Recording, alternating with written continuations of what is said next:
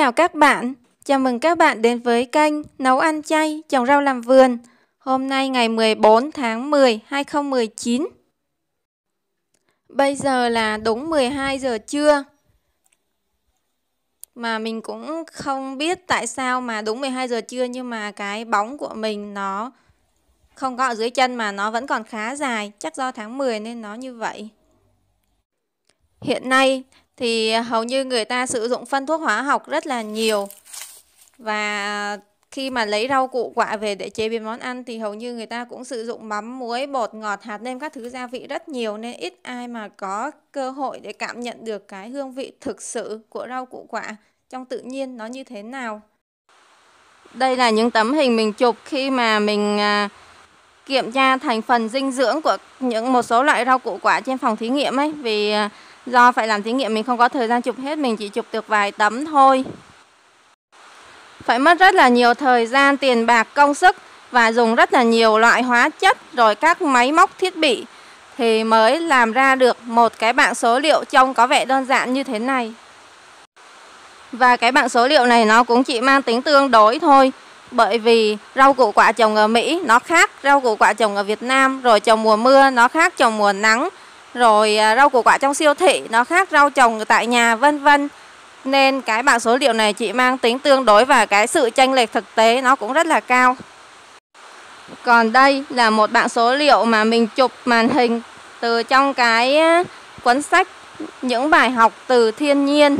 Thì à, cái bảng số liệu này so sánh rau củ quả mà sử dụng phân hữu cơ và rau củ quả sử dụng phân hóa học thì mọi người thấy sự chênh lệch cũng rất là nhiều, đúng không?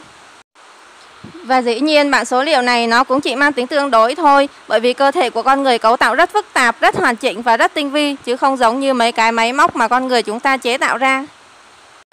Nên những gì mà chúng ta ăn vào và cơ thể chúng ta cảm nhận đó mới là cái sự phản ánh chân thực nhất. Và theo kinh nghiệm của bản thân mình thì những cái loại rau củ quả nào mà ăn vào cái mùi vị nó càng đậm đà thì cái hàm lượng chất dinh dưỡng trong đó nó sẽ càng cao đây là những cái đống cọ mà bữa trước mình có quay video mình dọn cọ bờ ao ấy, mình cắt cái cọ bờ ao lên thì giờ nó đã khô như vậy rồi. Và mình sẽ dùng những cái cọ này để mình đi tủ đất để trồng rau. Cách làm của mình là mình mang những cái cọ này mình xếp thành một luống dài. Sau đó mình lấy đất mình cào cào đất xung quanh mình lấp cái cọ đó lại. Khoảng một thời gian sau là mình bắt đầu gieo hạt giống và mình trồng cây lên cái lớp cỏ đó. Mình không có phải ủ cỏ bằng vi sinh hay gì đâu, mình chỉ để nó ở ngoài trời nó tự khô như thế thôi. Và đây là những cái cây mình đã trồng lứa đầu tiên trên những cái lớp cỏ đó. Thông thường trước khi trồng rau thì người ta sẽ cày xới đất lên rất là kỹ rồi bón lót phân chuồng, bón lót vôi, một số loại phân hóa học khác thì mình không làm những cách đó, mình không cày xới đất, mình chỉ ừ, rải cọ trên mặt đất và mình cào đất lại để mà lấp cái cọ đó chứ không có cày xới đất gì hết. Và đây là những cái cây, những cái củ cà rốt mà mình trồng như cái đất không cày xới đó. Mình cũng không rõ là củ cà rốt bao nhiêu lâu mới được thu hoạch. Những cái củ này hình như mình trồng cũng hơn 2 tháng rồi. Và bây giờ mình nhổ lên thì thấy nó cũng rất là nhỏ. Mà mình nghĩ củ nó nhỏ thì cũng là điều dễ hiểu thôi bởi vì mình không cày xới đất mà. Những cái cây mà mình thu củ như vậy thì hầu như người ta phải cày xới đất rất là sâu thì cái đất nó tơi xốp củ nó mới đâm sâu xuống đất được thì nó mới to được. Còn mình không cày xới đất thì đất rất là cứng luôn nên nó chỉ đâm được khúc bấy nhiêu thôi. Với có thể là do mình trồng cũng quá dày nữa. Mình trồng mình không có tỉa gì hết, mình để tự nhiên vậy á nên chắc nó khá dày nên nó cũng không phát triển tốt được. Và đất của mình chỉ là lấy dinh dưỡng từ trong cái cỏ đó thì chắc là không đủ dinh dưỡng mấy rồi. Nhưng mà để chắc chắn rằng cái củ cà rốt này nó có độ chất hay không và nó có ngon hay không thì mình sẽ ăn thử xem thế nào. Bởi vì nếu như mà nó không có độ chất thì mình ăn mùi vị nó sẽ rất là nhạt. Nếu như mình thấy mùi vị nó đậm thì chứng tỏ là nó độ chất khi mình cắn vào thấy rất là giòn luôn. Và củ cà rốt rất là chắc và ăn ngọt đậm nhưng mà ngoài cái vị ngọt đó thì còn có cái vị hơi đắng đắng nữa. Mà cà rốt mình mua ở chợ thì không có cái vị đắng đắng như thế. Tuy hơi đắng đắng nhưng mà nhai kỹ thì nó vẫn rất ngọt và cái hậu vị vẫn là vị ngọt chứ không phải vị đắng. Nói chung là cái mùi vị nó cực kỳ đậm luôn. Nó không có nhạt nhẽo như cà rốt mình mua. Vậy câu hỏi đặt ra là gì? Tại sao mình trồng mình không bón phân gì hết?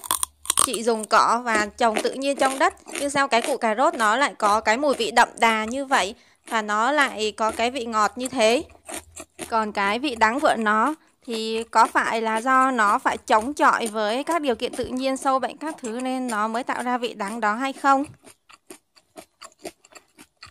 Ngoài cà rốt thì mình còn trồng thêm một số loại cây rau khác nữa. Và mọi người thấy là mình đã cố tình mình quay video lúc 12 giờ trưa. Và buổi sáng mình cũng cố tình không tưới nước để xem cái cây nó có bị héo khi trời nắng hay không. Và quả thực là nó không bị héo. Mình không chắc là những người mà họ trồng rau theo kiểu tưới nước bón phân đầy đủ xem nếu như mà để với điều kiện như mình nó bị héo hay không nha. Và đây là mấy cây lá rong. Thì mình chỉ muốn nhấn mạnh là thường ấy cái lá rong thì cái lá nó vẫn đâm lên trời nhưng mà nó vẫn hơi đâm xéo xéo còn những cây lá rong của mình thì nó đâm thẳng lên trời luôn. Mình nghĩ đây là phản ứng tự vệ của nó để mà chống chọi với cái nắng của thời tiết bây giờ. Tại thời tiết tháng 10 này đang chuẩn bị vào mùa cà phê ấy. Nó rất là nắng luôn, từ 6 giờ sáng đã nắng rồi. Có vẻ như những cây khác thì chống chọi với cái nắng này tốt hơn. Còn với những cái cây rau cải xanh thì nó chống chọi yếu hơn mấy cây khác một chút nên nó hơi bị héo. Nhưng mà nó chỉ hơi héo thôi chứ không đến mức mà héo theo kiểu mà lá dính hết vào nhau đâu. Héo này thì đến chiều là nó hồi phục lại được. Những cây này mình đã hái lá ăn rất nhiều lần rồi, Nên giờ nhìn nó cũng nhỏ xíu thôi. Nhưng mà nó ăn cực kỳ cay luôn ở Quảng Ngãi người ta có món bánh xèo Quảng Ngãi là dùng cái rau này để mà quấn bánh xèo. Chứ ai mà hái cái lá rau của mình đây mà quấn bánh xèo là nó hăng thông đến tận óc luôn đấy ăn không nổi luôn, nó cay, cực kỳ cay luôn. Mùi vị rất là đậm.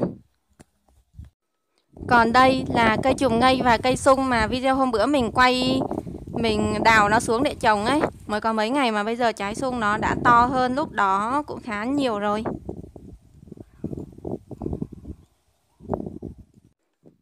Đây là cây mướp. Nó chưa kịp lớn mà giờ nó đã nhú hoa mất rồi.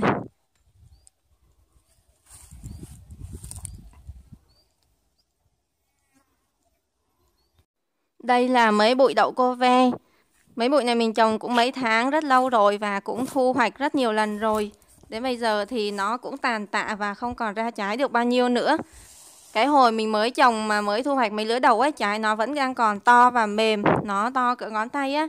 Nhưng mà bây giờ lứa cuối cùng thì trái nó rất là bé luôn. Nó to không bằng cái ngón tay đâu là nó đã bắt đầu già rồi ấy. Như trái này thì còn ăn được nè. Nhưng mà chỉ cần nó to hơn một xíu nữa thôi là nó không ăn được nữa, nó đã già và cứng rồi. Nhưng đây là cái lứa cuối cùng rồi nha. Chắc hết cái đợt này mình cũng không thu hoạch nữa, mình để cho nó già để mình lấy hạt luôn nhưng phải công nhận là trồng mấy tháng trời nhưng mà nó không không có con sâu, nó ăn, tìm con sâu cực kỳ khó luôn. Bữa mình tìm mãi mới thấy được một trái có sâu. Đây, cái trái có sâu đây. Cái này mình cố tình để dày mình không có ngắt đi ấy. Nói chung là con sâu nó, hình như là trái nó dai, nó cứng ấy, nên con sâu nó không ăn được nhiều, nó đung, nó đâm được mỗi cái lỗ đấy thế là con sâu nó cũng quấn kén và phát triển thành bướm luôn, chứ nó không có ăn tiếp nữa. Chắc do những cây này mình trồng theo kiểu tự nhiên, nó có cấu trúc đặc cái vật chất nó nhiều, nên con sâu nó ăn nó cũng nhanh no. Mà nó cứng thì con sâu cũng không ăn được nhiều nữa. Nên nó, con sâu nó ăn no rồi là nó cũng phát triển thành bướm và không ăn, không tiếp tục phá hoại vườn của mình nữa. Nên vườn mình rất là ít sâu luôn. Đây là mấy cây rau ngót rau ngót này mình dâm bằng cành, giờ nó lên rồi. Và đây là mấy cành hoa hồng mà mình cắt mấy cái cây hôm bữa mình đào về trồng ấy. Mình cắt cành nó dâm ở đây, mình dâm hoàn toàn ở ngoài nắng luôn và cũng chỉ tưới nước cho nó ngày 1 đến 2 lần thôi. Thì mình cũng mặc kệ cho nó, cây nào lên được thì tốt, còn cây nào không lên được thì thôi. Cho nó tự chọn lọc tự nhiên luôn. Còn đây là cây bầu. Cây bầu thì nó cũng nhỏ, nó đã ra hoa rồi, bởi vì mình trồng không có phân mà, nên nó không thể lớn to được giờ nó cũng ra hoa và đang bắt đầu ra trái non rồi. Như mọi người để ý thấy cái con con cánh cam ấy cái con cánh cam nhỏ nhỏ ấy con này nó phá hoại bầu bí rất là nhiều luôn này. Nhưng mà đối với cây bầu của mình thì nó không thể ăn nhiều được. Mọi người thấy là cái lá mà nó cắn ấy nó cũng chỉ cắn sơ sơ thôi. Mình theo dõi nó mấy ngày nay rồi ấy nó xuất hiện một tuần trước rồi. Đến bây giờ nó cũng chỉ cắn cái lá đấy sơ, sơ sơ thôi à không cắn được nhiều. Giống như lá này cũng vậy nó không cắn được nhiều.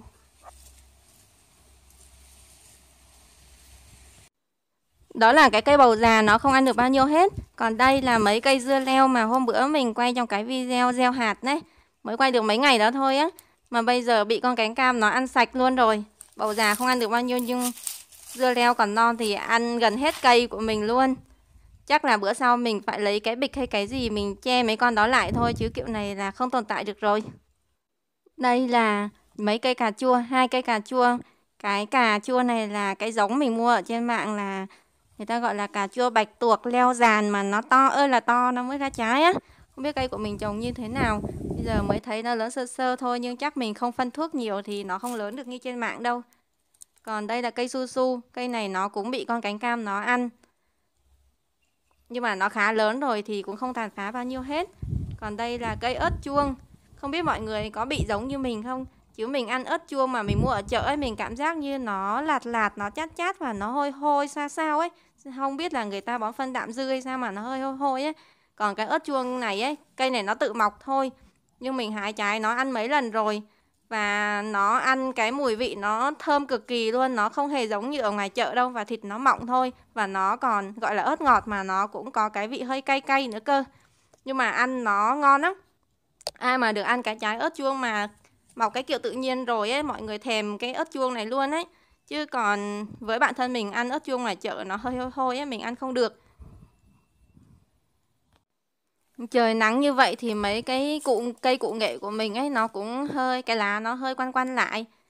Nhưng mà cái cây ờ, khoai lang ăn đọt đây, mấy cây khoai lang ăn đọt này thì lại không bị héo. Nó cũng tùy cây ấy, có cây bị héo mà có cây không. Mình cũng để tự nhiên như nhau và trồng trên cỏ như nhau hết như khoai lang này thì nó lại không bị héo.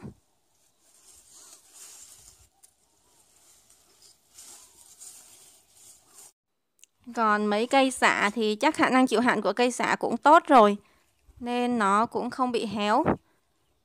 Và cây xạ trồng theo kiểu tự nhiên này, nó vẫn phát triển tốt, Cũng không thua kém gì cây xạ mà trồng chăm bón bình thường đâu. Đây là cây ớt xiêm. Giống ớt này thì nó vốn là của rừng rồi thì nó sống theo kiểu rừng thì cũng là bình thường Không có gì hết nên nó vẫn phát triển tốt Đấy mọi người nhìn thấy mặt đất của mình khô không? Tại do sáng mình không tưới nước mà đất này đất múc ao lên đấy, nó cực kỳ khô luôn. Vậy mà cái cây nó vẫn xanh tốt trên cái đất khô như vậy mới hay chứ. Hầu như là đậu bắp của mình lên không đều đâu, mình trồng nó hồi lâu mùa mưa rồi ấy. Nên nó lên không đều. Nhưng mà không hiểu sao cái cây này tự dưng nó to đột biến so với những cái cây khác luôn. Mình sợ trái nó già nên mình phải hái trái liên tục nên giờ mình không có quay được trái cho mọi người xem. Và lá của nó cũng khá là dày. Cây này tự dưng nó to hơn tất cả những cây khác.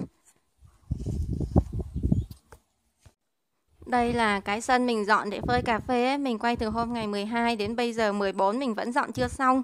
Do trời nó buổi chiều hay mưa mình chỉ dọn được buổi sáng thôi. Chắc phải hết ngày mai nữa, may ra mình mới dọn xong cái sân này. Video cũng khá dài rồi. Mình xin kết thúc video tại đây. Hẹn gặp lại các bạn trong những video tiếp theo nha.